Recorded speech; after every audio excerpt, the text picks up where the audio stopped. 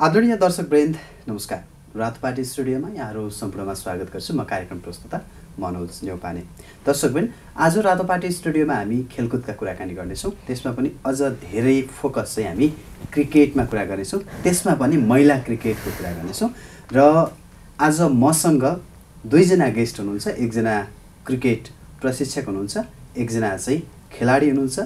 र खेलाडी जो नवप्रतिभा पनि हुनुहुन्छ र थुप्रै सम्भावनाहरू बोक्नुभएकी खेलाडी हुनुहुन्छ उहाँ हुनुहुन्छ गण्डकी प्रदेशबाट खेल्दै आउनुभएकी ज्योत्सनिका मरासिनी र मसँग क्रिकेट प्रशिक्षक एवं स्याङ्जा जिल्ला क्रिकेट सङ्घका सचिव विक्रम तिवारी हुनुहुन्छ। आउनुहोस् उहाँहरू दुवैजनालाई रातोपाटीको स्टुडियोमा स्वागत गरौँ। यहाँ दुवैजनालाई कार्यक्रममा स्वागत छ। हस् धेरै धेरै धन्यवाद। आराम हुनुहुन्छ? हजुर आरामै छ। स्याङ्जा जिल्लाबाट काठमाडौँमा अहिले यो प्रधानमन्त्री कप खेल्नका लागि गण्डकीको प्रतिनिधित्व गर्दै दुईजना आउनु भएको छ। प्रशिक्षक खेलाडी। कस्तो रह्यो खेल? अहिले चाहिँ पहिला अब हामीले तिनवटा गेमहरू खेलिन्थ्यो नि त। दुई तिनवटा गेम खेल्थ्यो अहिले चाहिँ सेभेन प्रोभिन्स सातवटै प्रोभिन्ससँग खेल्न विक सिम विक टिमसँग नि खेल्न पाइयो है टफ टिमसँग नि खेल्न पाइएछ होइन। छुट्टै मिस्टेक्सहरू सिकिरहेछ चाहिँ कस्तो भयो एक्सपिरियन्स काठमाडौँ आएर सबै प्रोभिन्ससँग चाहिँ खेल्दाखेरि अथवा त्यो गेममा चाहिँ आइपुग्दाखेरि चाहिँ? अहिले चाहिँ बल्ल थाहा भयो त्यो टफ टिमसँग खेल्दा चाहिँ आफ्नो मिस्टेक्सहरू कति उस सबै उस थाहा पाइयो होइन। अनि त्यो अब मिस्टेक्सहरूलाई चाहिँ अब सुधार्दै लाने भन्ने। एउटा मोरल पाएँ। ओके। जस्तो विक्रमजी जस्तो तपाईँ एज अ प्रशिक्षक आउनु भएको छ जसनिकाहरूलाई चाहिँ एउटा प्रतिनिधित्व गर्दै होइन एउटा लिडरको रूपमा भनौँ न। प्रशिक्षक त जहिले पनि लिडरको रूपमा हुन्छ। यो टिममा पहिलो चरणमै निस्किनु पऱ्यो बाहिरिनु। पऱ्यो यो पटक। कसरी खेलको समीक्षाबाट सुरु गरौँ न कुराकानी भनेर? खेल चाहिँ पहिला जुन गण्डकी प्रदेशले एउटा रिप्रे रिप्रेजेन्ट गर्थ्यो पहिला चाहिँ एज अ सहभागीको रूपमा मात्रै रिप्रेजेन्ट गर्थ्यो। भने अहिले चाहिँ एउटा चाहिँ राम्रो कम्पिटिसन दिन सक्ने एउटा टिम बनेको छ। किन भन्दाखेरि चाहिँ दुई वर्ष पहिलेबाट चाहिँ जुन दुई तिनवटा टुर्नामेन्टहरू पिएमहरू खेल्यौँ हामी चाहिँ गण्डकी प्रदेश खेल्यो। त्यसमा चाहिँ यङ प्लेयरहरू चाहिँ धेरै सहभागी सहभागी थियो। अझै पनि चाहिँ हजुरको चाहिँ नौजना चाहिँ अहिले- अहिलेको टिममा पनि अन्डर नाइन्टिन प्लेयरहरू चाहिँ छ। र हिजो जुन प्रदेशले चाहिँ एउटा यङ यङ प्लेयरमाथि चाहिँ इन्भेस्ट गरेको थियो त्यसको नतिजा भन्नुपर्ने हुन्छ। अहिले चाहिँ राम्रो टिमहरूलाई पनि। हामी चाहिँ पहिलो चरणबाट त बाहिरिएको त छ तर चाहिँ एउटा राम्रो फाइट दिएर चाहिँ भनौँ विभागीयलाई भनौँ त्यसपछि गएर चाहिँ राम्रो प्रोभिन्स वानदेखि लिएर राम्रो टिम सुदूरपश्चिम राम्रो टिमहरूलाई चाहिँ एउटा राम्रो फाइट दिएर चाहिँ र कहाँनिर थोरै चुक्यो भन्दाखेरि एज अ एक्सपिरियन्स हामी प्लेयरहरू कम भएर नै हामी चाहिँ गेम पहिलो चरणबाट बाहिरिन पुग्यो। र उनीहरूको लागि चाहिँ एज अ भन्नुपर्दा प्लेयरको लागि चाहिँ एज अ ब्राइट फ्युचर चाहिँ म देख्छु। जस्तो जसनिका जस्तो तपाईँको उमेर चाहिँ पन्ध्र वर्ष भन्नुभयो होइन यो यो उमेरमा आइपुग्दाखेरि क्रिकेट मात्रै नभएर अन्य प्रतियोगिताहरूमा पनि त्यत्तिकै हात हाल्नुभएको छ। यो खेल जीवनसँग तपाईँ कहिलेबाट जोडिनुभयो होइन र यो खेल जीवनसँग यो जोडिने यो रहर इच्छा कहिलेबाट आयो? म सानैदेखि सबै गेम खेल्थेँ होइन। अब त्यो थर्टिन तेह्र वर्षदेखि चाहिँ म नेसनल टुर्नामेन्ट खेल्न लागेको होइन। त्यहाँदेखि नै अब क्रिकेटलाई नै अब करियर फोकस क्रिकेटलाई नै दिन्छु भनेर। खेले अब।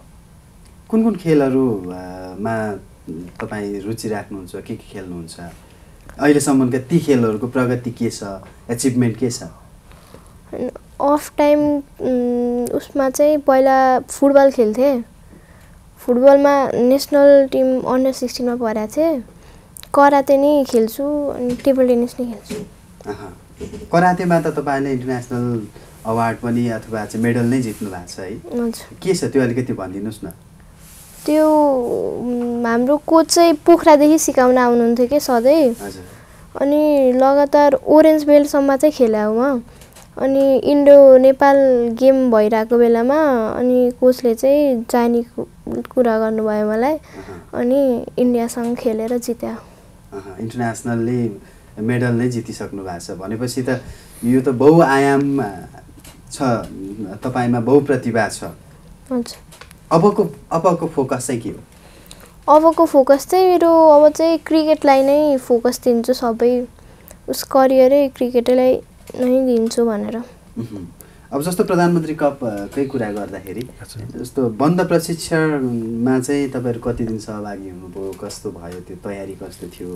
होइन उहाँले भन्दै गर्दाखेरि हामी चाहिँ कसैको अरू प प्रतिद्वन्द्वीलाई पनि एउटा राम्रो चाहिँ हामीले प्रदर्शन गरेका छौँ भन्दै गर्दाखेरि चाहिँ त्यो कस्तो रह्यो? जस्तै हामीले अन्डर नाइन्टिनमा चाहिँ एट आठ नौ दिनको चाहिँ क्याम्प हुन्थ्यो होइन? हामीले चाहिँ अहिले अहिलेको पालि चाहिँ क्वालिटी म्याचेसहरू चाहिँ म्याचेसहरू नपाएर हो ल्याक भएको यदि हामीले अब पाँच छ दिन क्याम्प पाएको भए अहिले हाम्रो पर्फर्मेन्स छुट्टै बेटर हुन्थ्यो होला के? हामीले क्याम्प एक दुई दिन मात्र पायो अहिले चाहिँ। त्यसले पनि असर गर्यो त्यसले धेरै असर गर्यो। जस्तो अब विक्रमजी जस्तो गण्डकी प्रदेशको प्लेयरहरूको कुरा गर्ने हो भने चाहिँ सबै लगभग उन्नाइस वर्षभन्दा कमको नै हुनुहुन्छ होइन। यसबाट चाहिँ हामीले भविष्यका लागि चाहिँ कस्तो आश गर्न सकिन्छ? तपाईँले एज अ प्रशिक्षकको रूपमा काम गर्दै गर्दाखेरि अन्डर नाइन्टिनको टिमलाई लिड गरेर चाहिँ उनीहरूलाई एउटा खेलका लागि अथवा चाहिँ जितका लागि चाहिँ हौसला प्रदान गर्दै गर्दाखेरि चाहिँ ती सम्भावनाहरू चाहिँ के देखिन्छ अब छिटै नै हाम्रो नेपालले चाहिँ under nineteen Asian region qualifier चाहिँ खेल्दैछ युएईमा चाहिँ। अब त्यसको लागि नै अब भनौँ अब हाम्रो मे मे प्लेयरहरू चाहिँ तयारी अवस्थामा छ र अर्को भनेको चाहिँ टु थाउजन्ड ट्वेन्टी सेभेनमा चाहिँ नेपालले चाहिँ अन्डर नाइन्टिन वर्ल्ड कप चाहिँ होस्ट गर्नेवाला को होस्ट भनौँ बङ्गलादेश र नेपालले चाहिँ संयुक्त रूपमा चाहिँ को होस्ट गर्ने एउटा तयारीमा छ। त्यसको लागि चाहिँ हामीले भनौँ अथवा गण्डकी प्रदेशले भनौँ त्यसको लागि चाहिँ खेलाडी चाहिँ नेपाललाई प्रतिनिधित्व गर्न दिने र त्यसको लागि चाहिँ खेलाडी उत्पादन गर्ने नै एउटा चाहिँ रोड म्याप सहित चाहिँ हामीले चाहिँ युङ प्लेयरमा चाहिँ लगानी गरिरहेको छौँ। र हाम्रो लगानी भनेको नै टु थाउजन्ड ट्वेन्टी सेभेनमा हुने वर्ल्ड कपमा चाहिँ नेपाल क्वालिफाई होस् र त्यसमा चाहिँ हाम्रो प्रदेशको खेलाडीहरू चाहिँ म्याक्सिमम् चाहिँ त्यसमा सहभागी होस् भनेर चाहिँ हामीले चाहिँ त्यसमा तयारी गरिरहेको छौँ। त्यसमा लगानी गरिराख्नु भएको छ। हजुर यसमा गण्डकी प्रदेशको लगानी अथवा भनौँ न यसमा लगानी भन्ने बित्तिकै आर्थिक पनि हुन्छ मानवीय स्रोत पनि त्यतिकै हुन्छ। त्यसमा चाहिँ कस्तो छ अहिलेको वर्तमान अवस्था? अब खेलाडीहरूलाई हेर्ने हो भने चाहिँ पहिलो कुरा त खेलाडीहरूले आफू प्लेयर बन्ने हो भनेर उनीहरूले आफूले इन्भेस्ट गरिरहेको छ। अब यो सस्तो खेल पनि भएन थोरै महँगो सबै खेल्न पनि नसक्ने अवस्थामा छ। महँगो किटहरू चाहिँ किन्नुपर्ने हुन्छ ब्याटहरू किन्नुपर्ने हुन्छ। पहिलो कुरा त प्यारेन्ट्सबाट अथवा चाहिँ एउटा फ्यामिलीबाट चाहिँ आउनुपर्ने हुन्छ। म म मेरो छोराछोरीलाई खेलाडी बनाउँछु। र एज अ प्लेयर पनि म खेलाडी बन्छु भनेर चाहिँ एउटा आउनुपर्ने हुन्छ। हजुर इन्भेस्ट गर्नुपर्ने त्यसपछि आएर चाहिँ जिल्लाहरूबाट चाहिँ अब भनौँ प्रायोरिटीमा राखेर जिल्लाहरूले चाहिँ एउटा लगानी गरिरहेको छ। किनकि खेलाडी बन्ने भनेको नै ग्राउन्ड लेभलबाट हो। अब त्यो पनि अझ स्कुल लेभलबाट चाहिँ म्याक्सिमम् रहने गर्छ। र त्यसपछि प्रदेशहरूले चाहिँ तपाईँको एउटा प्लेटफर्म दिने काम चाहिँ गरिरहेको छ। जस्तै गण्डकी प्रदेशले चाहिँ धनगढीमा भएको अन्डर नाइन्टिन टुर्नामेन्ट चाहिँ जितेको थियो। र त्यो त्यही प्लेयरहरू चाहिँ अलिक कन्टिन्यू भएको हुनाले नै केही नै सिनियर टिममा पनि एउटा कम्पिटिसन चाहिँ हुन पुग्यो। र प्रोभिन्सहरूले पनि तपाईँको चाहिँ इन्टर प्रोभिन्स चाहिँ एउटा टुर्नामेन्ट क्यानको क्यालेन्डर मात्र नहेरिकन इन्टर प्रोभिन्स टुर्नामेन्टहरू र जिल्लाहरूको पनि भित्री जिल्लाहरूको पनि तपाईँको चाहिँ टुर्नामेन्टहरू चाहिँ भइराख्यो भने सायद खेल्ने प्लेटफर्म र एउटा प्लेयरहरू चाहिँ बिजी रहने थियो र त्यसले नै एउटा प्रोभिन्सलाई चाहिँ अब रिप्रेजेन्ट गरेर चाहिँ एउटा स्ट्रङ प्रोभिन्स टिम चाहिँ बन्ने थियो र रिजल्ट चाहिँ आउने थियो जस्तो चाहिँ लाग्छ। प्रोभिन्सहरूले चाहिँ रिजल्ट भन्दा पनि पहिला चाहिँ लगानी गर्नुपर्ने हुन्छ खेलाडीमाथि त्यसको लागि चाहिँ म्याचहरू एक्सपोजरहरू दिनु पऱ्यो म्याक्सिमम् खेलाउनु पऱ्यो त्यसपछि मात्र रिजल्टको चाहिँ हामी चाहिँ आश गर्न सक्छौँ तपाईँ स्वभावले कस्तो मान्छे? जस्तो कतिको बोल्नुहुन्छ कतिको खोल्नुहुन्छ घरमा विद्यालयमा खेल खेलाडी हुँदा साथीहरूसँग कस्तो छ भन्नु न? म सबैसँग बोल्छु घुलमिलिन्छु। तर अब यो स्टुडियोमा फर्स्ट टाइम आउँदा चाहिँ अलिकति नर्भस त्यो त फिल भइहाल्छ नि। पक्कै पनि। यहाँ यहाँ त यहाँ इन्भाइरोमेन्ट अब त अप्ठ्यारो छैन। हजुर। ओके अब जस्तो तपाईँको यो जुन मल्टी ट्यालेन्ट हुनुहुन्छ नि खेल जीवन सँगसँगै एकाडेमिक करियर चाहिँ कस्तो छ तपाईँको? अहिले कतिमा पढ्दै हुनुहुन्छ कहाँ पढ्दै हुनुहुन्छ? होइन? एकाडेमिक करियरमा देखेको चाहिँ उद्देश्यहरू सपनाहरू के हुन्? अब त्यो त अब गेम र स्टडी चाहिँ दुइटैलाई सँगै लाने हो।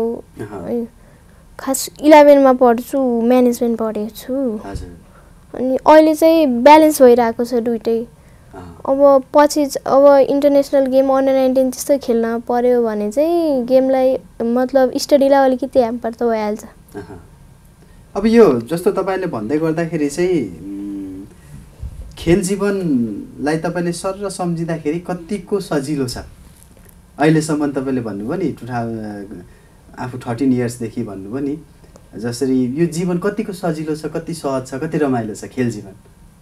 सजिलो लिएर अब अब प्लेयरै बन्ने हो भने त्यसैलाई नै करियर रोजेको भने चाहिँ मेहनत हार्डवर्क चाहिँ गर्नुपर्छ त्यसको लागि। इजी लिएर हुँदैन। तपाईँ चाहिँ कतिको कम्फर्ट हुनुहुन्छ यो यो खेल जोनमा? गेम जोनमा चाहिँ। त्यस्तो। कम्फर्ट छ कि छैन सजिलो छ कि छैन होइन? प्रशिक्षकहरू कस्तो हुनुहुन्छ?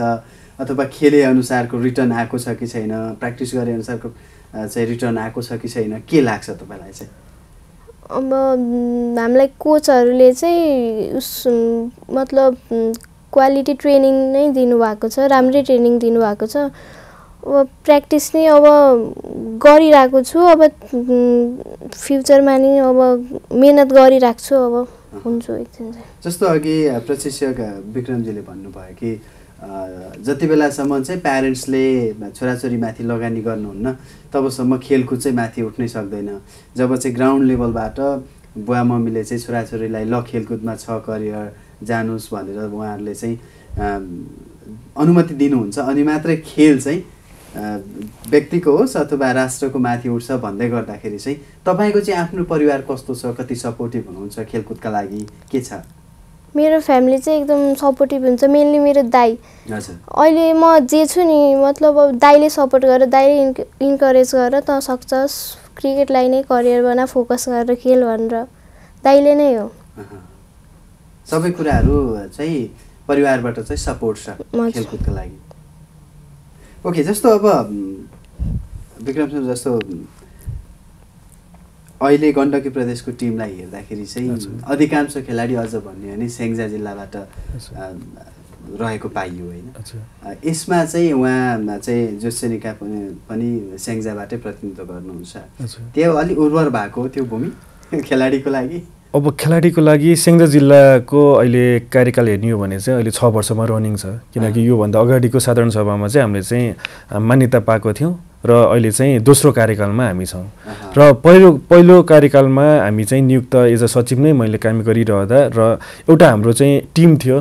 जसमा। अनुज गोदार दिवाकर अध्यक्षज्यू दिवाकर थापाज्यू लगायतको चाहिँ हाम्रो एउटा टिम थियो टिमले नै हामीले अब आइसकेपछि एउटा चाहिँ ठाउँमा अथवा चाहिँ जिम्मेवारी लिइसकेपछि यसलाई चाहिँ बहन गर्नुपर्छ र यत्तिकै खेर जान दिनु हुँदैन भनेर चाहिँ हामीले चाहिँ एउटा प्लानिङ गरेको थियौँ प्लानिङमा हाम्रो चाहिँ महिला क्रिकेटलाई। किनकि महिला सशक्तिकरण भनेर चाहिँ हामीले सुन्दै त आएको थियो तर चाहिँ काम चाहिँ भनौँ त्यसरी चाहिँ हामीले चाहिँ देखिरहेको थिएन र त्यसमा चाहिँ म हामी पुतली बजारकै मेयर हुनुहुन्थ्यो हामीसँग सीमा छेत्रीज्यू महिला मेयर हुनुहुन्थ्यो। र हामीले चाहिँ उहाँसँग चाहिँ कुरा गऱ्यौँ। कुरा गर्दै गर्दाखेरि चाहिँ मेयर साहब हजुरले चाहिँ अब महिला क्रिकेटलाई नै अगाडि बढाउनु पऱ्यो तपाईँको एरियामा चाहिँ हामीले चाहिँ बढाउनु पर्छ अब खेलाउनु पर्छ र अगाडि बढाउनु पऱ्यो भन्दै गर्दाखेरि उहाँले एउटा राम्रो सपोर्ट गर्नुभयो र हामीले मेयर कप चाहिँ सञ्चालन गऱ्यौँ। सुरुको कार्यकालमा चाहिँ हाम्रो चाहिँ सुरुको चाहिँ प्रतियोगिताहरूमा चाहिँ दस टिम बाह्र टिमको चाहिँ सहभागिता थियो र त्यहीँबाट चाहिँ अब भनौँ जस्निका मरसिनीहरू जस्ता चाहिँ हाम्रो चाहिँ भनौँ क्षमता भएका खेलाडीहरू चाहिँ त्यहाँ चाहिँ खेल्न पाए र आफ्नो चाहिँ प्रदर्शन देखाउन पाए र त्यहीँबाट नै जिल्ला छनौट हुँदै चाहिँ प्रदेशमा चाहिँ अब गण्डकी प्रदेशको रिप्रेजेन्ट गर्दै चाहिँ लम्बैमा भएको चाहिँ पिएम कपमा चाहिँ खेल्न गएको थियो। र अहिले आउँदाखेरि चाहिँ हेर्दाखेरि चाहिँ अठारवटा स्कुल चाहिँ पुगेको छ त्यहाँ चाहिँ। अठारवटा स्कुलले चाहिँ सहभागिता जनाएको थियो र त्यही सब मेयर कप गरेर अहिले फेरि हाम्रो चाहिँ उपमेयर कप भनेर चाहिँ गरिरहेको छौँ। किनकि अब सरकार चेन्ज भयो हामीले चाहिँ उपमेयर अहिले चाहिँ देवी अरियालजी हुनुहुन्छ र उहाँलाई नै हजुरकै नाममा हजुरले नै अब महिलाहरूलाई चाहिँ अगाडि बढाउनु हजुरहरूको सपोर्ट पायो भने अझ अगाडि बढ्ने चाहिँ एउटा चाहिँ बाटो खुल्ने थियो भनेर चाहिँ उहाँलाई चाहिँ कन्भिन्स गरिसकेपछि उहाँ पनि रेडी हुनुभयो। र उपमेयर कप चाहिँ हामीले गरिरहेको छौँ जसमा अठारवटा चाहिँ टिमहरूको चाहिँ स्कुलहरूको चाहिँ सहभागिता रह्यो र अहिले चाहिँ राम्रो भनौँ राम्रो खेल्ने एउटा वातावरण चाहिँ पाएको थियो र त्यस सँगसँगै जिल्ला टिम छनौट भयो। जिल्ला टिमबाट चाहिँ अहिले गण्डकीमा भएको चाहिँ प जिल्ला स्तरीय गेममा पनि स्याङ्जा जिल्ला चाहिँ अहिले दोस्रोपल्ट लगातार चाहिँ च्याम्पियन बन्न पनि सफल भयो। र अहिले चाहिँ नौजना खेलाडीहरू चाहिँ स्याङ्जा जिल्लाबाट चाहिँ परेको थियो प्रदेशमा। तर अन्तिम मुभमेन्टमा चाहिँ क्यानबाट चाहिँ पन्ध्र वर्षभन्दा मुनिको चाहिँ सहभागी नगराउने भनेर चाहिँ भनिसकेपछि चाहिँ। हाम्रो दुईजना चाहिँ खेलाडीहरू बिचरा रुँदै रुँदै अन्तिम मुभमेन्टमा चाहिँ घर फर्किनु पर्यो। किनकि हामीले उनीहरूलाई पनि हेरेको थियो टु थाउजन्ड ट्वेन्टी सेभेनको वर्ल्ड कपको लागि क्वालिफायरको लागि चाहिँ। हामीले चाहिँ रेडी गर्दै थियौँ। अब अब ब्याड लक भन्नुपर्ने हुन्छ। र उनीहरू स्ट्रङ छ मलाई लाग्छ। अब स्ट्रङ छ र फेरि चाहिँ अब मैदानमा फर्किनेछ र राम्रो खेल प्रदर्शन चाहिँ गर्नेछ। भनेपछि त त्यो एउटा उर्वर भूमि नै भएको छ जुन लगानी पनि भइराखेको छ। त्यसले पनि सपोर्ट भइराखेको छ। खेलाडी उत्पादनमा हजुर अब यसमा चाहिँ थोरै मिल्न कहाँ जान्छ भन्नुहुन्छ भने एउटा झापा जिल्ला। जो रुबिना छेत्री हाम्रो पूर्व कप- कप्तान पनि हुनुहुन्छ। लगायतको टिमहरू चाहिँ यसो दुई चार वर्ष चाहिँ फर्केर हेर्ने हो भने चाहिँ एउटै ठाउँबाट चाहिँ। म्याक्सिमम् प्लेयरहरू चाहिँ खेल्ने गर्नुहुन्थ्यो। र त्यही अवस्था चाहिँ कता कता स्याङ्जा जिल्लाले यसैलाई नै कन्टिन्यू दिन सक्यो भने चाहिँ। चाहिँ र खेलाडीहरूले पनि एउटा चाहिँ हामीले चाहिँ उनीहरूलाई पनि एउटा अवसर चाहिँ प्रदान गर् दिँदै गयो भने चाहिँ भनौँ अबको चाहिँ पाँच दस वर्षमा चाहिँ अब यिनै खेलाडीहरू चाहिँ नेपालको लागि चाहिँ प्रतिनिधित्व गर्दै चाहिँ अब राम्रो गर्नेछन् भन्ने चाहिँ हामीले चाहिँ एउटा चाहिँ आशा चाहिँ लिएको छ। तपाईँ एज अ प्रशिक्षक चाहिँ जोसनिकासँगै बस्दाखेरि स्टुडियोमा बस्दाखेरि चाहिँ एउटा प्रशिक्षकको रूपमा नभएर एउटा अभिभावकको रूपमा हेर्दा चाहिँ उहाँको उहाँलाई कसरी लिनुहुन्छ? ऊ शान्त स्वभावको छ एउटा चाहिँ ऊ चाहिँ साथीहरूलाई चाहिँ एकदम माया मान्ने र अर्को भनेको चाहिँ एउटा खेललाई चाहिँ खेलमा गइसकेपछि चाहिँ एकदम भिज्न खोज्ने बुझ्न खोज्ने डिपली जान खोज्ने चाहिँ एकजना भनौँ एकजना राम्रो क्वालिटी प्लेयर चाहिँ म मान्छु उसलाई चाहिँ। एज अ ह्युमन बिङ पनि ऊ चाहिँ एज अ राम्रो छ। साथीहरूलाई हेल्पिङदेखि लिएर सबै कुराहरू चाहिँ।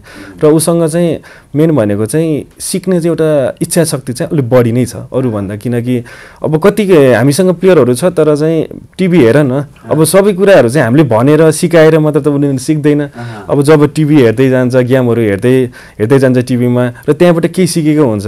है अब उसमा चाहिँ एउटा इच्छा शक्ति छ र उसले चाहिँ अब खाली टाइममा पनि अरू गेम पनि खेलिरहेको हुन्छ जस्तो बर्खामा क्रिकेट खेल्नु मिल्दैन ऊ चाहिँ टेबल टेनिस बास्केटबल भलिबल अनि ब्याडमिन्टनहरू चाहिँ ऊ खेलिरहेको हुन्छ फुटबल खेलिरहेको हुन्छ एउटा आफूलाई चाहिँ फिजिकली चाहिँ इन्भल्भ गराइरहेको हुन्छ र अर्को भने इच्छा शक्ति अब पार्ट टाइम अब भनौँ अब अब अहिले त अब यङ स्टारहरू चाहिँ। टिकटक धेरै सोसियल मिडिया धेरैहरू चलाउने। अवस्थामा चाहिँ ऊ चाहिँ अब गेमहरू चाहिँ हेर्ने गर्छ त्यसले गर्दा नै उसलाई चाहिँ गेममा चाहिँ हेल्प भइरहेको जस्तो लाग्छ सब भइरहेको छ। अरू मेनली चाहिँ अब घरबाटै पनि भनौँ। अब उसलाई पनि खेल्नको लागि कुनै रोकटोक छैन। ऊ आफ्नै अब भनौँ उसकै स्कुल रोशनी स्कुलमा ऊ पढ्यो र उनीहरूलाई नै एउटा आफ्नै स्कुलमा एउटा प्लेटफर्म दिनको लागि नै रोशनी कप भनेर नै वर्षमा एकचोटि हुने गर्छ। जो उहाँको दाइ अनुपम मरासिनीले चाहिँ त्यो चाहिँ अर्गनाइज गर्नुहुन्छ। र एउटा घरबाटै भनौँ अब घरकै एउटा प्लेटफर्मले गर्दाखेरि घरबाटै प्लेटफर्म दिइरहेको अवस्थामा पनि हामीलाई पनि अब खेलाडीहरू चाहिँ इन्भल्भ गराइराख्दा सिकाउँदा सिकाउँदा ट्रेनिङको लागि चाहिँ धेरै नै सहज भइरहेको छ।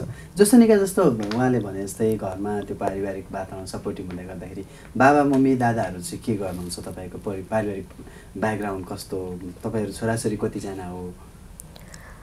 हामी चाहिँ जोइन्ट फ्यामिली हो होइन।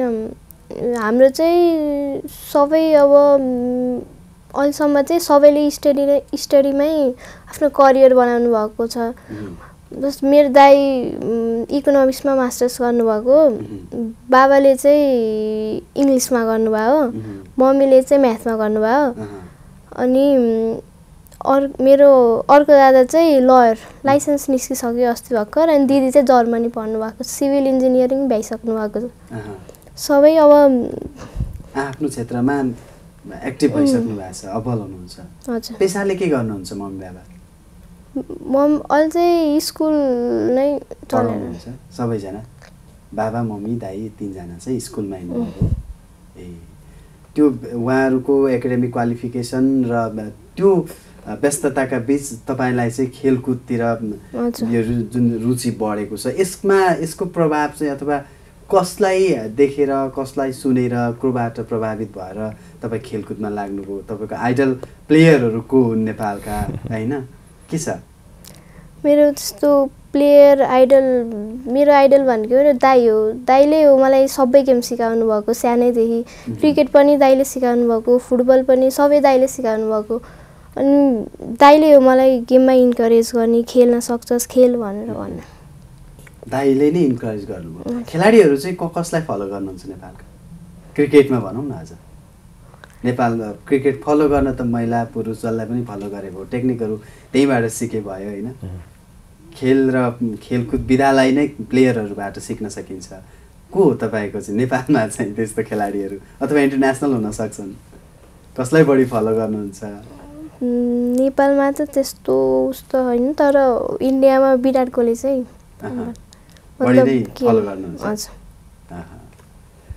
अब जस्तो तपाईँ एज अ क्रिकेटरकै रूपमा चाहिँ म करियर चुज गर्छु भन्दै हुनुहुन्छ होइन? यो पन्ध्र वर्षको उमेरमा आउँदाखेरि अन्डर नाइन्टिन प्रदेश स्तरीय गेम खेल्दै हुनुहुन्छ खेलिसक्नु भएको छ। क्रिकेटमा भविष्य देख्नु भएको छ? कति सेक्युर छु जस्तो लाग्छ? अब सानै उमेरदेखि खेलेको होइन अब क्रिकेटलाई नै अब पुरै करियर दिएपछि त अब त्यसैमा मिहिनेत गरिराख्ने मिहिनेतको फल त पाइहालिन्छ नि एक दिन त अब मिहिनेत गरिराख्यो भने। त्यो आशा भरोसा छ? हजुर। अब प्रिकम सर जस्तो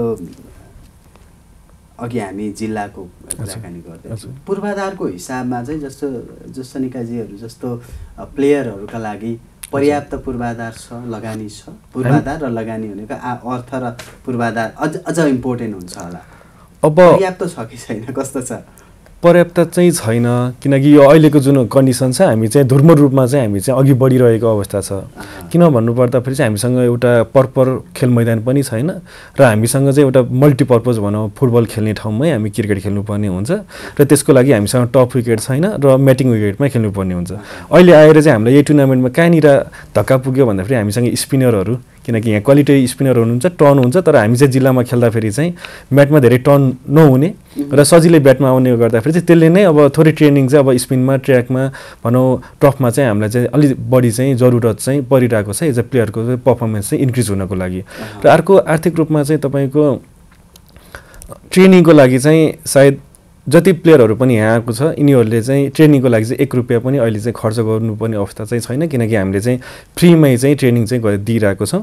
किनकि हिजोको दिनमा पनि हामी नै क्रिकेट खेलिरहँदा जिल्लाबाट चाहिँ खेलिरहँदाखेरि चाहिँ हाम्रो पनि एउटा इच्छा थियो। हामी प- कुनै दिन चाहिँ नेपालको जर्सी लगाउँ भन्ने चाहिँ हाम्रो इच्छा थियो।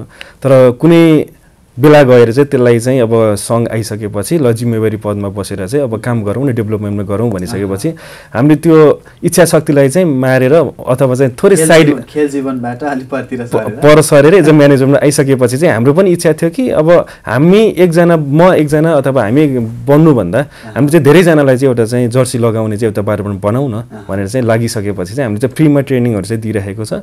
र त्यसमा चाहिँ मेनली सपोर्ट भनेको चाहिँ स्कुलहरूबाट चाहिँ स्कुलहरूबाट भइरहेको छ। र पहिलो कुरा चाहिँ उनीहरूलाई कुनै फी लाग्दैन। अर्को कुरा चाहिँ हामीले एउटा के वातावरण चाहिँ बनाइरहेको छ र स्कुलले के सपोर्ट गरिरहेको छ भन्दाखेरि चाहिँ राम्रो खेलि खेलिरहेको छ र एउटा लेभल खेलिसकेपछि चाहिँ ऊ स्कुल एससी दिन्छ एससी दिइसकेपछि चाहिँ इलेभेनमा पढ्दै गर्दाखेरि चाहिँ फ्री- स्कलरसिपमा पढ्न पायो भन्ने। त्यसले गर्दा त्यो वातावरण पनि बनिसकेको छ। किनकि रोशनी स्कुलमा पनि हाम्रो चाहिँ चार पाँचजना चाहिँ प्लेयरहरू चाहिँ फ्रीमा चाहिँ प पढिरहेको छ। ज्योति स्कुलमा पनि हाम्रो जुन नेपालबाट खेलिसकेकी अञ्जली विश्वकर्मा थिइन् ऊ पनि त्यहाँ चाहिँ फ्रीमा पढिरहेको पढ्न पाइन्।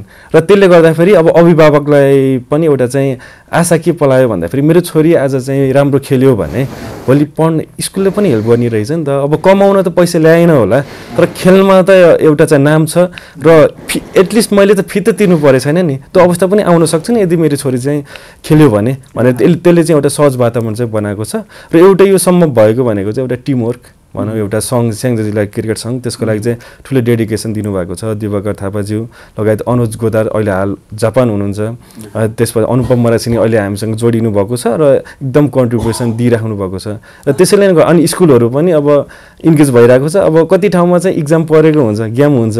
र होइन गेम राम्रो छ भने चाहिँ उसलाई गेम खेल्न लैजाने इक्जाम आएर पनि उसले दिन्छ भनेर चाहिँ एउटा त्यो वातावरण बनाइदिनाले चाहिँ सायद खेलाडीहरू चाहिँ धेरै भएको हो र एउटा प्रतिभा चाहिँ भोलिको दिनमा अझै बढ्नेछ जस्तो चाहिँ मलाई लाग्छ।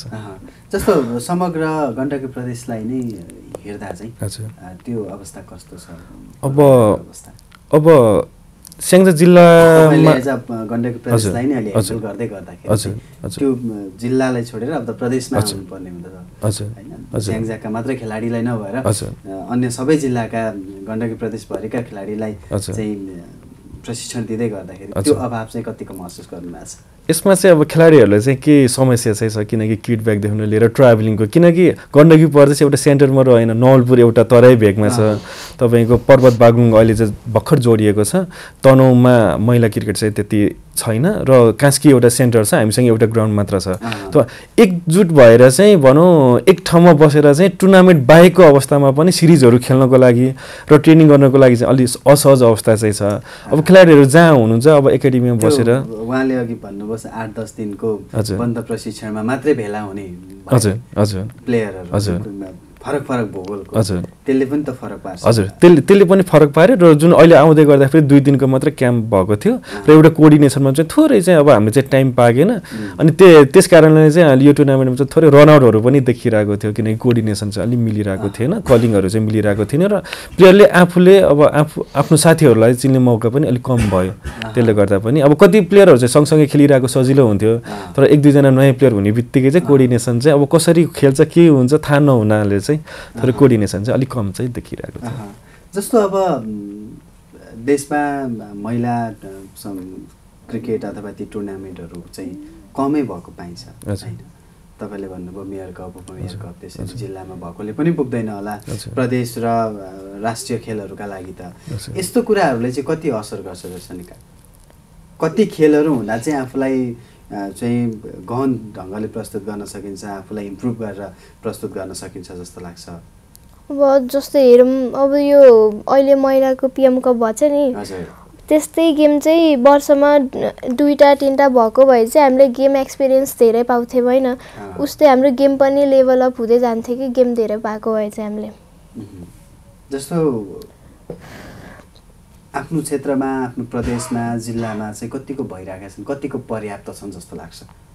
हाम्रो अब प्रोभिन्समा त त्यस्तो क्वालिटी त्यस्तो म्याचेस त्यस्तो पाएको छैन होइन? तर जिल्लामा चाहिँ अब उहाँहरू जस्तो कोच मोट हामीलाई मोटिभेट गर्ने सपोर्ट गर्ने होइन? फुल ट्राई गर्नुभयो कि हामीलाई गेम उस ट्रेनिङ दिने गेम एक्सपिरियन्स दिने। जिल्लामा चाहिँ राम्रो भइरहेको छ तर प्रोभिन्समा चाहिँ अलि ल्याक वास मह्म। के भइदियो यस्तो हुन्थ्यो जस्तो लाग्छ तपाईँलाई जस्तो प्रोभिन्समा पनि तपाईँहरूले पनि हेर्नु भएको छ। यो गर्दा चाहिँ ठिक हुन्छ हामी प्लेयरहरूको लागि यसो गर्दा चाहिँ ठिक हुन्छ भन्ने के लाग्छ? प्रोभिन्समा चाहिँ अब त्यो सिलेक्ट भइसकेपछि चाहिँ त्यो अब नौ दस दिनको क्याम्प राखेर त्यहाँबाट कोअर्डिनेसन मिलाएर प्लेयर्सहरूको घुलमिल हुने त्यो सबै मिलाएको भए चाहिँ अलि धेरै नै बेटर हुन्छ हाम्रो टिम कोअर्डिनेसन चाहिँ।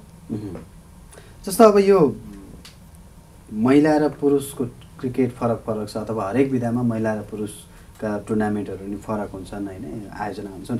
यो गर्दै गर्दाखेरि चाहिँ यो विभेद भए जस्तो चाहिँ लाग्छ कि लाग्दैन? जस्तो पुरुषको गेमहरू अलिक बढी भइराखेका हुन्छन् मुभमेन्टहरू अलिक बढी देखिन्छ अनि तपाईँलाई कस्तो लाग्छ? विभेद चाहिँ डिस्क्रिमिनेसन चाहिँ अलिक छ। किनकि अब बोइजको अन्डर सिक्सटिन हुन्छ हाम्रो चाहिँ अहिलेसम्म भएको छैन होइन हामी। अब यङ ट्यालेन्ट्सहरूले नि अलिक चान्स पाउँथ्यो नि त्यही अन्डर सिक्सटिन भएको भए। अब पिएमको पनि बोइजको धेरै हुन्छ गर्ल्सको कम हुन्छ नि त अनि गर्ल्सले चाहिँ कम चान्स पाएको छ। आफ्नो गेम देखाउनको लागि चाहिँ त्यो त्यो अभाव चाहिँ महसुस हुन्छ एकदमै। जस्तो अब तपाईँले यो भन्दै गर्दाखेरि नि महिला क्रिकेटहरूको इन्टरनेसनल अथवा अन्तर्राष्ट्रिय स्तरमा हेर्दा पनि त्यो माथि पाउँछौँ होइन हाम्रो जुन खालको प्रस्तुतिहरू हुनुपर्ने त्यो देखिँदैन। नेपालको महिला क्रिकेटलाई कति फलो गर्नुहुन्छ तपाईँ? अनि तपाईँ एज अ यङ प्लेयर तपाईँले देख्नु भएको कमजोरीहरू के हुन् जस्तो लाग्छ नेपाली क्रिकेटमा? र त्यहाँ पुग्दाखेरि तपाईँहरूको जेनेरेसन त्यहाँ पुग्दै गर्दाखेरि अथवा चाहिँ राष्ट्रको प्रतिनिधित्व गर्न पुग्ने दिनमा के के चाहिँ इम्प्रोभाइज हुनुपर्छ जस्तो लाग्छ?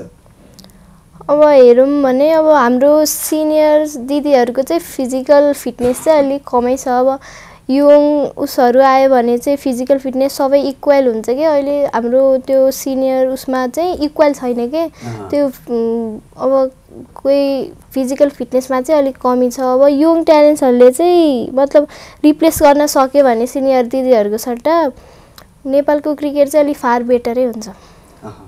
तपाईँलाई लागेको अभाव चाहिँ। अ- अन्य अन्य कुराहरूमा हुनसक्छ अरू अरू जस्तो खेल्ने कुरामा हुनसक्छ अथवा उहाँहरूको डेडिकेसन ती विषयहरूमा चाहिँ कतिको उ गर्नु भएको छ निहाल्नु भएको छ त्यस्तो डेडिकेसन त अब अहिले नेपालको चाहिँ उस अनुसार चाहिँ अब राम्रो राम्रो प्लेयर्सहरू चाहिँ अब फरेन कन्ट्री अब्रोड नै जाने उस छ अनि। त्यही भएर अब त्यसले पनि ल्याकिङ भएको जस्तो लाग्छ। पक्कै पनि जस्तो मैले यो कनेक्ट गर्न खोजेको चाहिँ एज अ तपाईँ प्रशिक्षक हुँदै गर्दाखेरि चाहिँ एउटा प्रतिभाशाली खेलाडी उत्पादन गर्नका लागि चाहिँ तयार गर्नका लागि चाहिँ कति मेहनत गर्नुपर्छ कति सङ्घर्ष गर्नुपर्छ? सङ्घर्ष अब सबै साइडबाट फ्यामिलीबाट हामीबाट प्लेयरबाट एउटा टिमबाट चाहिँ अब सङ्घर्ष चाहिँ गर्नुपर्ने हुन्छ। मेनली चाहिँ अब प्लेयर आफूले चाहिँ एउटा डेडि डेडिकेसन हुनु पऱ्यो म खेल्छु। र त्यसलाई चाहिँ सपोर्ट गर्ने चाहिँ एउटा फ्यामिली र एज अ कोचिङ स्टाफ। त्यो चाहिँ एउटा चाहिँ सम्भव छ। र अर्को गएर चाहिँ एउटा फाइनेन्सियल रूपमा चाहिँ सपोर्ट भनेको चाहिँ त्यहाँनिर अब फाइनेन्सियल रूपमा चाहिँ सपोर्ट भइदियो भने ढुक्क साथ प्लेयरहरू खेल्न पाउने अवस्था चाहिँ रहन्थ्यो। र हामीसँग हामीमा चाहिँ त्यो छैन र उसले भने जस्तै चाहिँ एब्रोड जानुपर्ने अथवा चाहिँ काहीँ न काहीँ इन्भल्भ हुनुपर्ने र समय अभावले चाहिँ आफूले प्रशिक्षण गर्न नपाउँदाखेरि चाहिँ क्वालिटीमा चाहिँ अब यहाँ डिक्रिज हुनुपर्ने चाहिँ अवस्था चाहिँ छ। भने जस्तै यो जिल्ला तहकै कुरा गर्दा अथवा। प्रदेश तहकै कुरा गर्दा पनि प्लेयरहरू चाहिँ एकाडेमिक रूपमा पनि उनीहरूले अन्य। विषयहरू जस्तो खेलकुद विधालाई नै। प्राथमिकता दिन्छु यसैमा पढ्छु भन्ने अवस्था छैन नेपालमा त्यो छैन छैन र त्यो नभएपछि अन्य विषय पढ्नलाई जिल्ला छोडेर। प्रदेश छोडेर केन्द्रमा आइपुग्नु पर्ने हुन्छ उनीहरू। अनि त्यतिखेर पनि ल्याकिङ हुन्छ कि के छ त्यस्तो अभाव चाहिँ महसुस कति गर्नुभएको छ महसुस तपाईँको चाहिँ कस्तो रह्यो भन्नुहुन्छ भने हामीले ट्रेनिङ गर्दै गर्दाखेरि चाहिँ ट्रेनिङ गर्दै गर्दाखेरि चाहिँ र कुनै प्लेयरलाई चाहिँ इन्भल्भ गराउँदै गर्दाखेरि चाहिँ हामीले चाहिँ के भनेर चाहिँ उनीहरूलाई कन्भिन्स गरिरहेको छ भन्नुहुन्छ भने क्रिकेट भनेको एउटा स्किल हो। जुन चाहिँ हामीले चाहिँ स्कुल लेभलमा पढ्दै गर्दा एउटा कम्प्युटर जुन स्किल हुनसक्छ यो पनि एउटा स्किल हो। र यसलाई चाहिँ टुवेल्भ क्लाससम्म चाहिँ पढ्दै गर्दाखेरि जिल्लामै बसेर पढ्दै गर्दाखेरि चाहिँ यसलाई चाहिँ कन्टिन्यू दिनु। र यसबाट चाहिँ म अघि बढ्न सक्छु है भन्ने जस्तो अवस्था छ भने चाहिँ यसलाई कन्टिन्यू रूपमा चाहिँ लिएर जाउँ।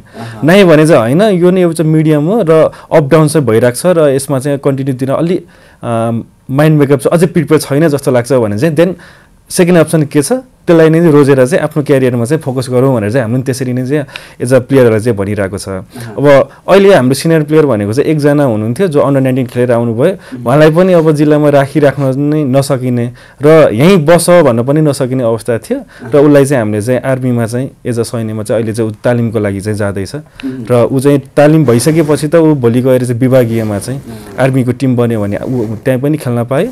र भएन भने भोलि जिल्ला प्रदेशमा पनि ऊ खेल्न पाउँछ र ऊ चाहिँ अब जुन स्किल चाहिँ हिजो डेभलप गरेको चाहिँ एज अ क्रिकेटमा चाहिँ उसको स्किल थियो त्यो चाहिँ मर्ने छैन र भोलिको दिनमा उसले प्रस्तुत हुने हुन चाहिँ सक्छ भन्ने चाहिँ लागेको छ। जस्तो जोसनिका अब उहाँले भने जस्तै बाह्र पछि चाहिँ जोसनिकालाई हामीले खेलकुदमै देख्न सक्छौँ अथवा बाबा मम्मीहरू जस्तै चाहिँ मास्टर्स डिग्री गर्न इन्टरनेसनल एजुकेसनका लागि बाहिर एब्रोड जाने त्यस्तो खालको मेन्टल मेन्टालिटी छ कि छैन तपाईँको खेलकुदले एकाडेमिक करियरलाई बिगार्छ भन्ने सोच छ कि छैन? के छ?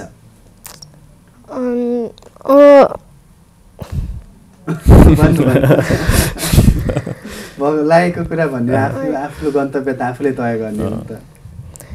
नेपालमा चाहिँ वुमेन्सको उस चाहिँ अलि उस कमै छ कि? अब जस्तै स्यालेरी उसहरू उसमा चान्स पनि कमै छ त्यही भएर धेरै उस राम्रो क्रिकेटरहरू चाहिँ अपलोड गइरहेको छ होइन?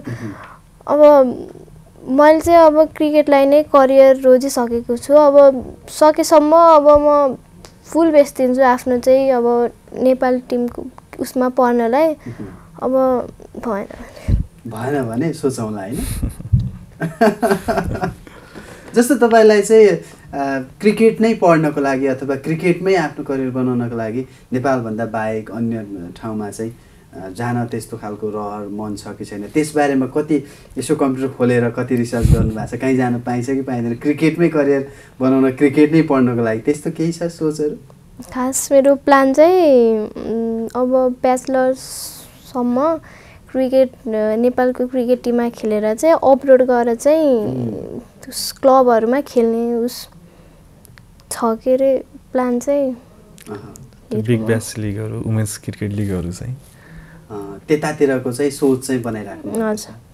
तपाईँलाई यो खेलकुदले एकाडेमिक करियरलाई चाहिँ बिगार्छ जस्तो चाहिँ लाग्दैन। त्यो कन्फिडेन्स चाहिँ छ तपाईँसँग? दुइटै ब्यालेन्स गरेर लग्यो भने चाहिँ सकिन्छ। दुइटै फिल्डमा मिहिनेत गर्नुपर्छ। त्यसको लागि तपाईँ प्रिपेयर हुनुहुन्छ तयार हुनुहुन्छ। हजुर। अहँ। अब जस्तो यो तपाईँ एज अ चाहिँ सङमा पनि हुनुहुन्छ। भनौँ न सङ्घमा रहेर काम गर्दै गर्दाखेरि चाहिँ नेपाल क्रिकेट सङ्घ र राष्ट्रिय खेलकुद परिषदको सहयोग चाहिँ खेलाडी निर्माणदेखि लिएर। छनौटदेखि लिएर। उनीहरूलाई स्थान दिनेदेखि लिएर राम्रो प्रतिभालाई चाहिँ छनौट गर्ने धेरै कुराहरू हुन्छ नि भित्र। टेक्निकल कुराहरू पनि। यसमा चाहिँ कति सहयोग छ संस्थाहरूको?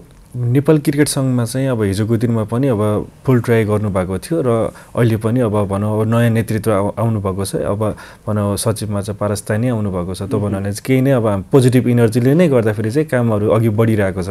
र हामीलाई पनि एउटा के ढुक्क छ भन्दाखेरि कुनै खेलाडी चाहिँ राम्रो भयो भने भोलि चाहिँ मर्न दिनु हुँदै हुँदैन है भने चाहिँ हामीलाई पनि एउटा चाहिँ ढुक्क भइरहेको छ।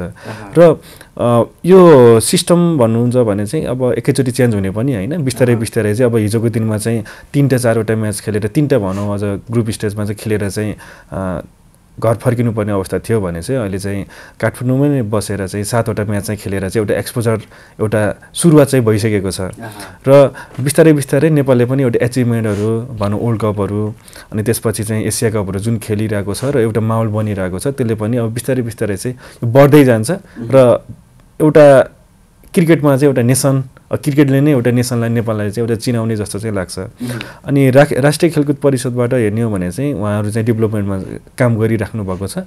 र थोरै चाहिँ तपाईँको राष्ट्रपति उपराष्ट्रपति यो स्कुल लेभलको गेमहरू चाहिँ जति हुन्छ त्यसमा पनि कहीँ न कहीँ स्कुल लेभलमा चाहिँ क्रिकेटलाई पनि इन्भल्भ गरेर गेमहरू गराउन सक्यो भने अझ क्रिकेटमा पनि अझ विकास हुने थियो र खेलाडीहरू अझ बढी उत्पादन हुने थिए र संरचनाहरू चाहिँ अलिक बढी बन बन्यो भने र प्र्याक्टिस गर्ने अनि साथसाथै अब हामी जुन भोलिन्टियर रूपमा चाहिँ प्रशिक्षण गरिरहेका छौँ अरू भोलिको दिनमा हाम्रो पनि अब कुनै हुँदैन आफ्नो पनि फ्युचर हेर्नुपर्ने हुन्छ अब हामी चाहिँ भनौँ प्रशिक्षकहरूलाई पनि एउटा ठाउँमा चाहिँ इम्प्लिमेन्ट दियो भने चाहिँ अनि सायद अब खेल चाहिँ अब भनौँ क्रिकेट चाहिँ अब माथि जान जाने चाहिँ मैले। तपाईँलाई यो ठ्याक्कै नेपालमा नेपालको सन्दर्भमा कुरा गर्दाखेरि खेलकुदमा राजनीति कति पाउनुहुन्छ तपाईँ तल्लो लेभलबाट माथिल्लो। लेभलसम्म आउँदाखेरि तपाईँलाई पनि रुचाएका खेलाडीहरूलाई।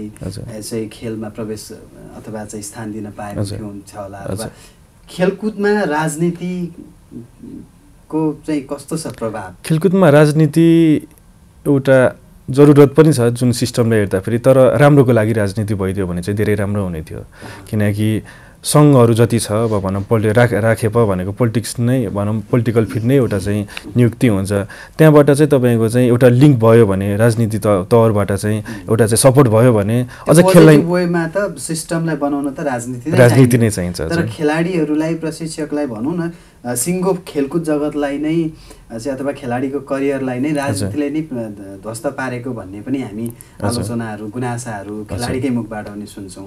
त्यस्तो चाहिँ कतिको महसुस गर्नु भएको छ तल्लो तहमा काम अहिलेसम्म अब जिल्ला। जिल्लाबाट जिल्ला प्रदेशमा काम गर्दै गर्दाखेरि चाहिँ मैले चाहिँ त्यो चाहिँ महसुस गर्न चाहिँ पाएको छैन किनकि कता कता चाहिँ अब उनीहरूले भनेको मान्दैन अथवा चाहिँ अब यिनीहरूले राम्रो प्लेयरलाई नै दिन्छ भनेर चाहिँ कता कता चाहिँ अब त्यो फोर्स पनि गर्नु भएको छैन अब हामी पनि अब जहाँसम्म लाग्छ अब राम्रो प्लेयरलाई नै अगाडि बढाइरहेको छ र त्यसैको का कारण नै जिल्ला प्रदेशले चाहिँ अब यो अवस्थामा चाहिँ आइसकेको छ जस्तो लाग्छ।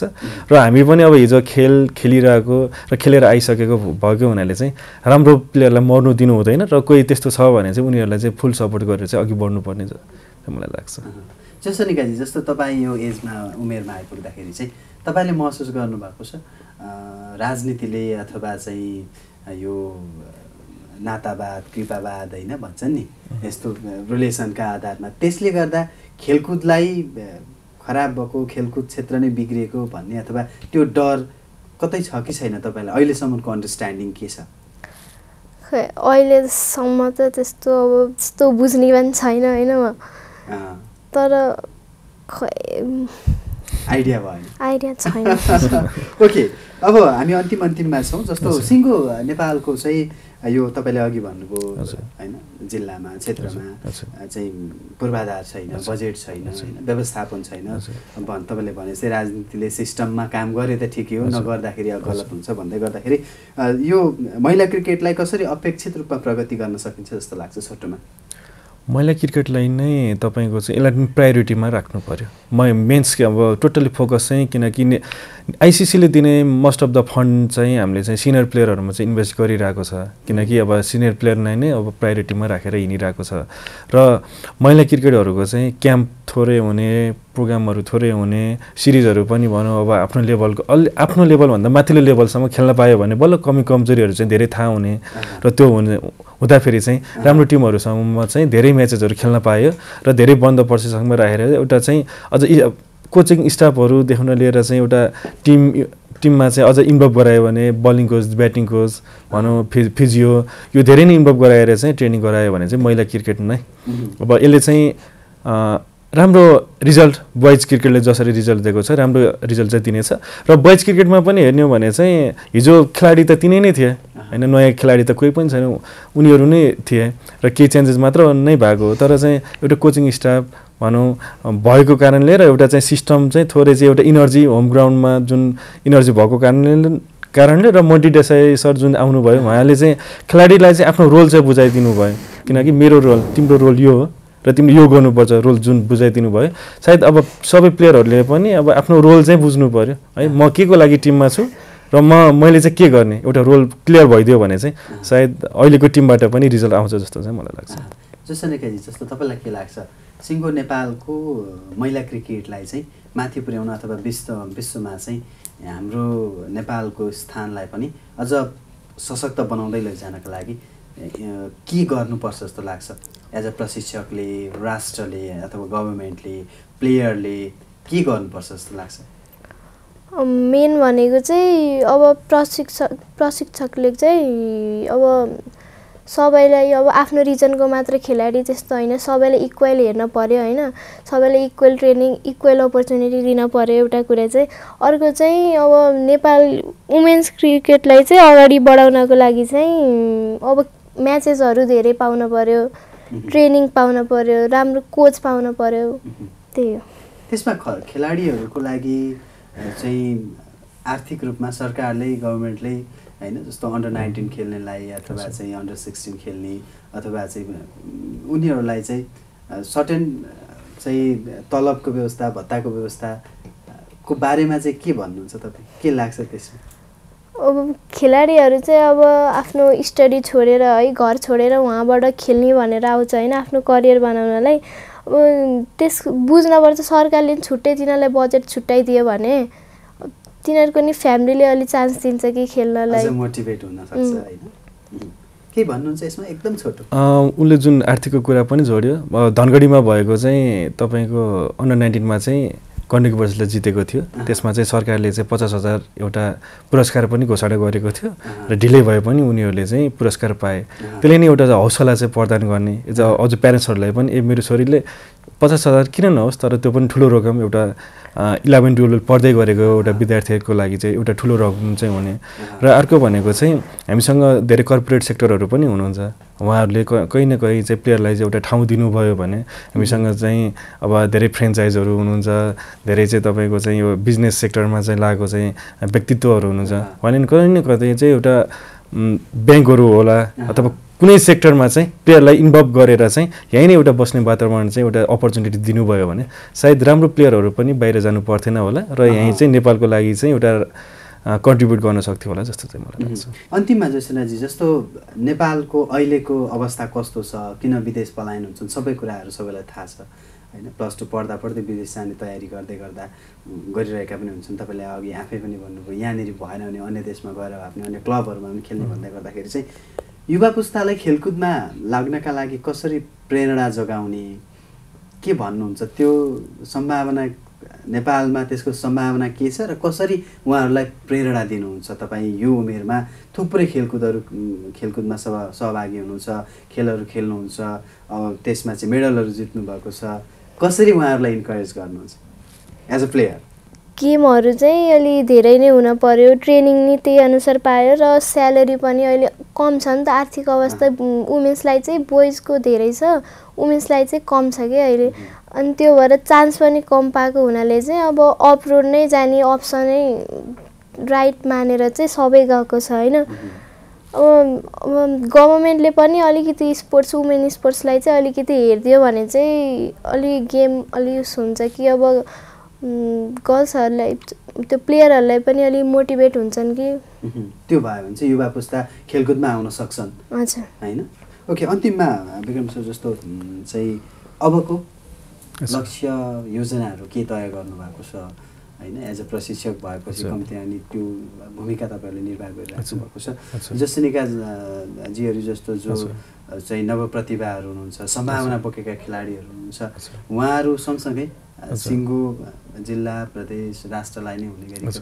त्यस्ता के छन् योजनाहरू? अब म्याक्सिमम् हामीले चाहिँ प्लेयरहरू देख्दाखेरि चाहिँ कति प्लेयरहरू चाहिँ आफ्नो भनौँ क्यारियर दाउमा लगाएर र खेलमा रमाइरहेको अवस्था चाहिँ मैले देख्छु। किनकि अब लास्टमा गएर ह्याप्पिनेस भन्ने एउटा कुरा चाहिँ रहन्छ एउटा लाइफमा चाहिँ। किनकि कता कता चाहिँ क्रिकेट खेल्दै गर्दाखेरि चाहिँ एउटा ह्याप्पिनेस चाहिँ उनीहरूले पाउँछ। र त्यस कारण नै क्रिकेट छोड्नु छोकिरहेको छैन।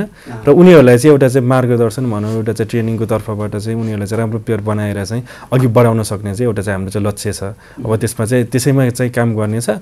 त्यो भनेको अब यहाँबाट जाने बित्तिकै नै अब ग्याप न नगरिकन चाहिँ अब भोलिबाट नै फेरि अरू अर्को तयारी छ किनकि अन्डर नाइन्टिन आउँदैछ। र एउटा प्रदेशले पनि अन्डर नाइन्टिनको चाहिँ एउटा जिम्मा दिए दिएपछि म भोलि नै अब भनौँ त्यहाँ गएर चाहिँ त्यसको लागि चाहिँ तयारी गर्नेछ। अब थोरै भनेको चाहिँ गभर्मेन्ट सेक्टर अहिले चाहिँ लोकल गभर्मेन्टसँग चाहिँ ओर गरेर उनीहरूसँग कोअर्डिनेट गरेर चाहिँ किनकि अब उनीहरू लोकल गभर्मेन्ट पनि एउटा चाहिँ पावरफुल स्टेजमा चाहिँ पुगिसकेको छ।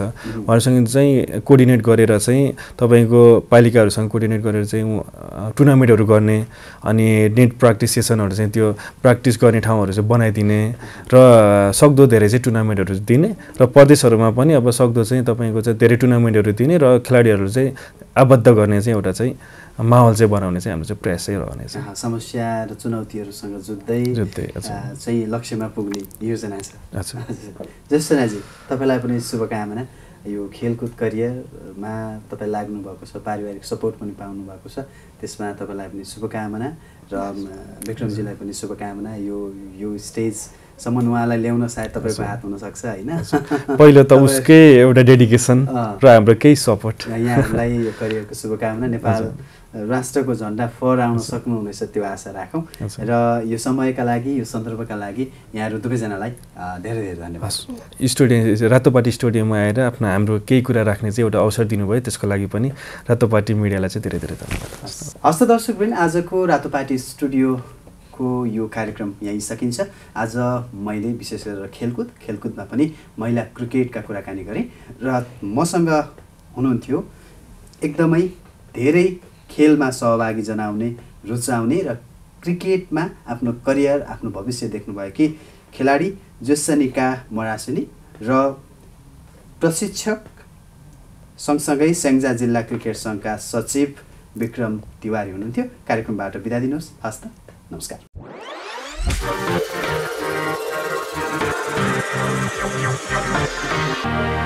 Thank